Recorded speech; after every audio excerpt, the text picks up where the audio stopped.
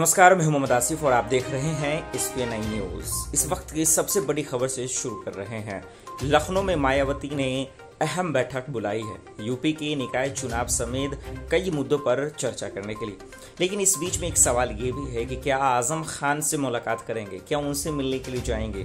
क्या उन्हें भी जो है आमंत्रित किया जाएगा? और यह ऐसा सवाल मैं इसलिए पूछ रहा हूँ क्योंकि जब आज़म खान जेल में थे तो मायावती उन पर खूब मेहरबान हो रही थी। और इस, इनकी जगह पे पार्टी के कोई भी अगर सुप्रीमो होते तो शायद वो भी ऐसा ही करते। क्योंकि कोई नहीं चाहता कि यूपी की सियासत में, यूपी की राजनीति में आज़म खान जैसे नेता ना जाए।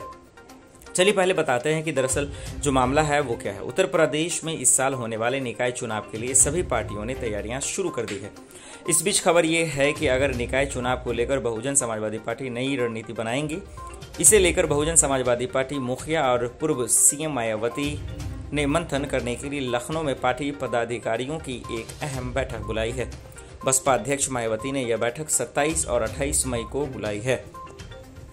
अब सवाल यह है कि बैठक से पहले दिन मायावती मुख्य जोन प्रभारियों और दूसरे दिन जिलाधिकारियों के साथ बैठक करेंगे। बता दें कि हाल ही में हुए विधानसभा चुनाव में पार्टी को करारी हार मिली थी। मायावती अब पार्टी को मज़बूत बनाने की लगातार कोशिश कर रही हैं। इसके लिए वे लगातार विचार विमर्श विमर्श कर रही हैं। इस बैठक में पदाधिकारी को ज़िम्मेदारी सौंपी जाएगी। इसमें 2024 में होने वाले लोकसभा चुनाव की रणनीति पर भी चर्चा की जा सकती है।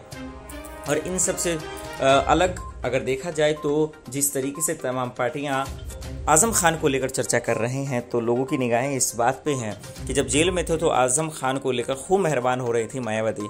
क्या आज कुछ अपने पदाधिकारियों या फिर अपने जानकारों से आज़म खान को लेकर कुछ कहेंगी? क्योंकि इस वक्त आज़म खान हम लोग जानते हैं कि नाराज़ चल रहे हैं। क्या उनकी नाराज़ियों का, नाराज़गियों का फ़ायदा क्या मायावती उठा पाएँगे? ये एक बड़ा सवाल है।